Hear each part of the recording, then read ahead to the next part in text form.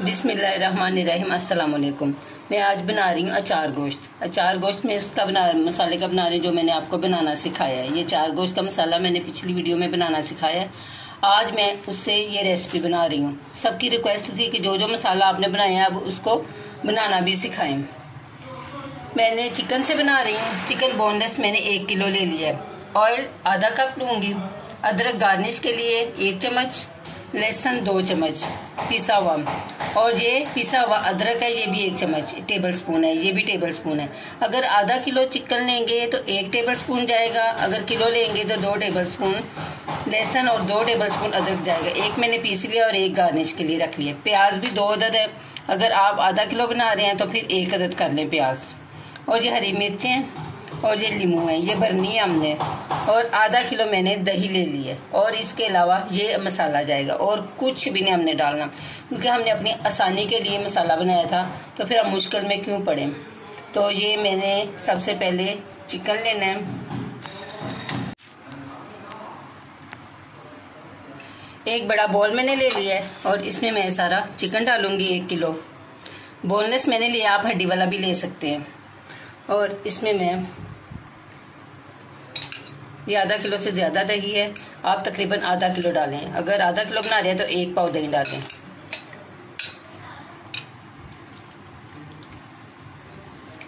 इसमें मैं टमाटर नहीं डालती। अगर आपको पसंद है तो आप डाल लें, लेकिन असल रेसिपी टमाटर के बगैर है। और ये अचार गोश्त मसाला, ये हमने डालना है। बस इतना सा बचाया है। ये हमने मिर्चें जो जो हैं, हरी, ये हमने भरनी है ऊपर फ्राई करके लगाने के लिए। ये मसाला लगा के मैं मैरिनेट करके रख लूँगी। इसमें ये अदरक और लहसुन का पेस्ट भी डाल लेंगे।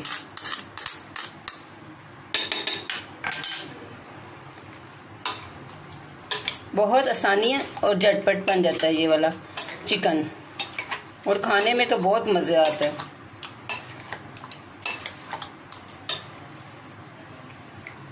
इसको मैंने मैरिनेट कर लिया अब एक देचकी लेंगे।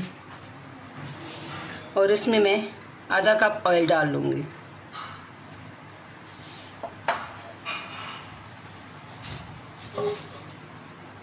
और इसमें मैं प्याज सॉफ्ट होने तक बनाऊँगी। बहुत बारीक मैंने प्याज काटा हुआ है।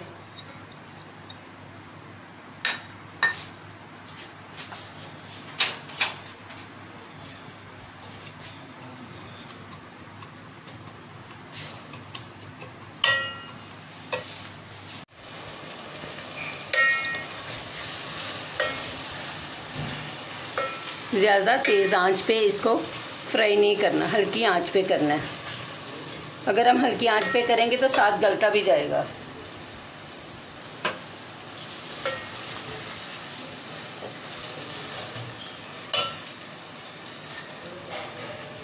ये मैं हरी मिर्च को कट लगा लूँगी, जब तक हमारा प्याज सॉफ्ट हो रहा है।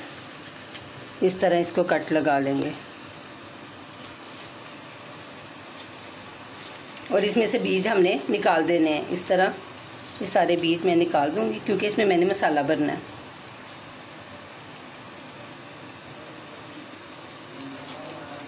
ये। ये मैंने दो लींबू नहीं है, इनका मैंने रस निकालना है, क्योंकि इसमें मैंने मसाले को मिक्स करना है। अगर आपके पास लींबू नहीं है, आप सिरका भी ले सकते हैं। घर में जो चीज़ है वो ले लें। बाज़ बहू बेटियाँ कहती हैं अपनी अम्मियों से, ये चीज़ होगी तो हम ये बनाएँगे, ये चीज़ होगी तो ये बनाएँगे। भाई, मुश्किल पैदा ना करें, जो घर में है, उसी से बनाना सीखें। उसी में बना के दिखाएँ अपनी अम्मियों को, सास को तो वो भी खुश हो जाएँ कि हर चीज़ के लिए बाज़ार नहीं दौड़ना पड़ेगा। कुछ लोग तो बैठ जाते हैं, जी, ये भी ख़त्म, ये भी ख़त्म। घर में बेटी आनी हो तो बहू ने, बहू कहती है कि सास को, ये भी ख़त्म है, ये भी ख़त्म है, मंगवा के देंगी तो खाना बनेगा। तो वो इतनी लंबी लिस्ट पकड़ा देती हैं, अजाब बना देती हैं। घर में जो हो, उसी से भी बना के ट्राई करें, बहुत अच्छी चीज़ें बन जाती हैं। अगर कुछ मिस हो जाए तो उससे भी काम चला लें। अब मैं ये नींबू का रस निचोड़ लूँगी, उसके बाद मैं आपके सामने मसाला भरूँगी।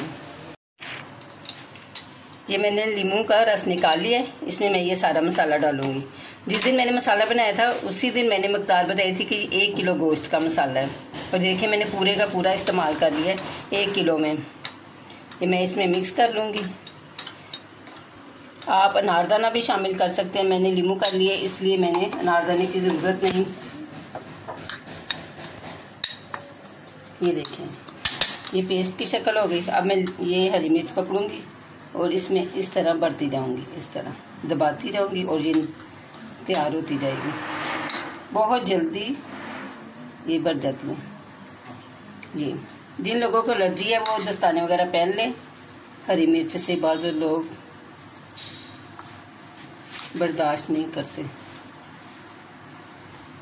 जितना मसाला इसके अंदर आएगा, वो भर लेंगे। सारे किचन में चार गोश्त की खुशबू आना शुरू हो गई है।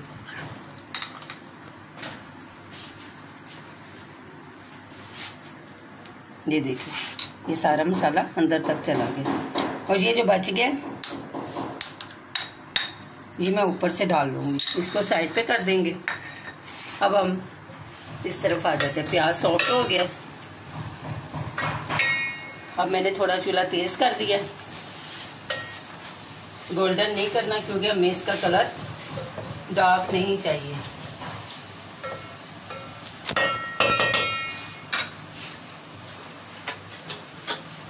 अब मैंने जो मैरिनेट किया हुआ है, दही और गोश्त, इसको मैं इसमें शामिल कर दूँगी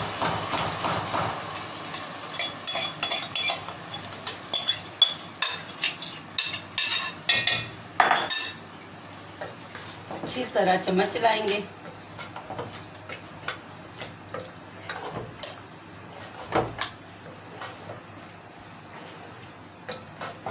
जब ये पकना शुरू हो जाएगा।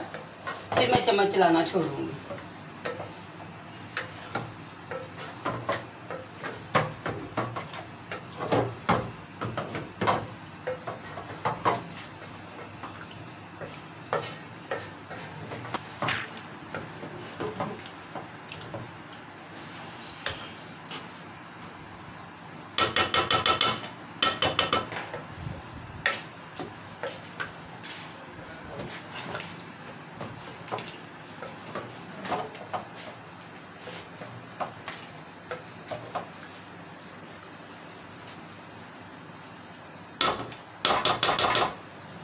ये पकना शुरू हो गया है। अब मैं इसे दम पे लगा दूँगी।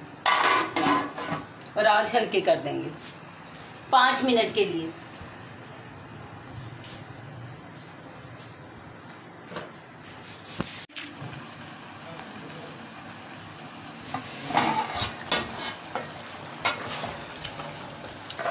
चिकन भी गल गया और मसाला भी। अब मैं इसे भून लूँगी। चूल्हा थोड़ा तेज़ करेंगे। घी ऊपर आने तक मैं इसे भूनूँगी।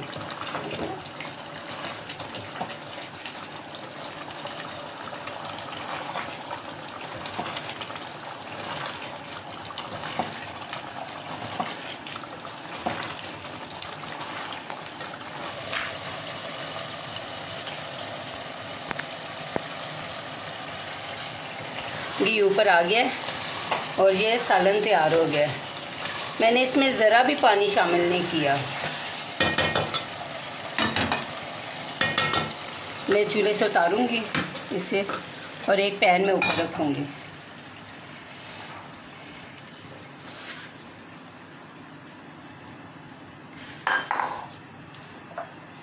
दो चम्मच ऑयल डाल देंगे, बस। मिर्चियाँ फ्राई करने के लिए।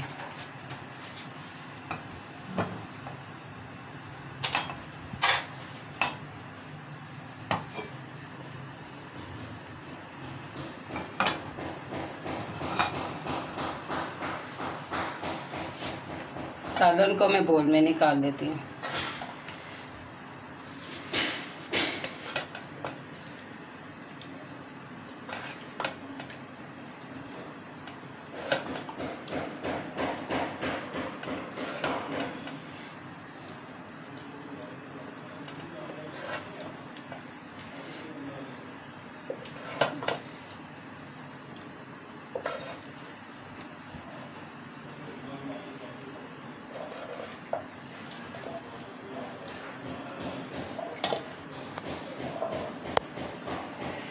ऑयल गरम हो गया। इसमें मैं अदरक डालूँगी। और ये हरी मिर्चें डालेंगे, जो मसाला भरी थी। तेज़ी से इसको हिलाएँगे। क्योंकि हमें इन्हें जलाना नहीं।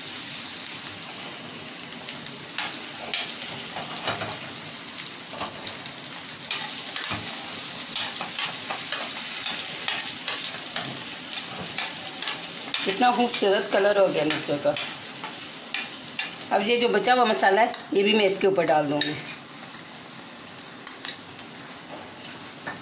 ये भी फ्राई हो जाए।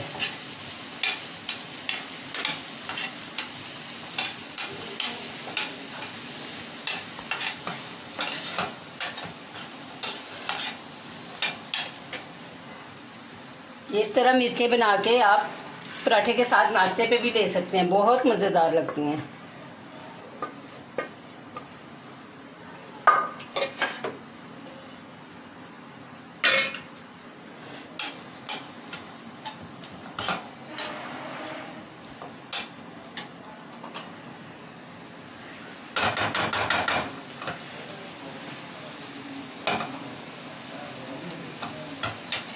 मैं चूल्हा बंद करूँगी।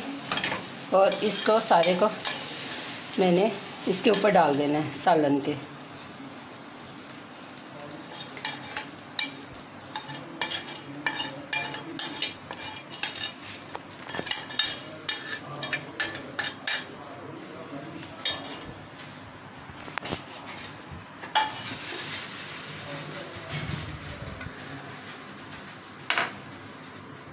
अचार गोश्त तैयार हो गया?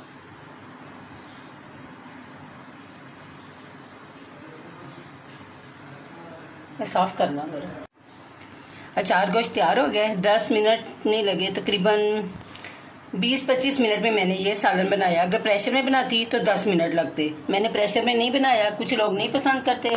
आप इसे देजकी में बना लें प्रेशर में बना लें। अगर मुझे जल्दी होती तो मैं भी प्रेशर में दस मिनट में तैयार कर लेती। प्लीज़ बनाएँ, बहुत मज़ेदार है इसे पराठे के साथ, तंदूर की रोटी के साथ या घर की चपाती के साथ भी बहुत मज़ेदार लगता है। और वाइट चावलों के साथ भी बहुत अच्छा लगता है। प्लीज़ बनाएँ। देखिए वो मसाला जो मैंने आपको बनाना सिखाया था, उससे मैंने इतना मज़ेदार सालन तैयार कर लिया आगे मैं उसकी वेजिटेबल भी बनाना सिखाऊँगी ताकि वेजिटेरियन के लिए भी आसानी हो जाए, वो भी अचार का मज़ा ले सकें अचार मसाले का। तो अपनाएँ एंजॉय करें और प्लीज़ मेरा चैनल सब्सक्राइब करें लाइक करें शेयर करें। शुक्रिया। अल्लाह हाफिज़।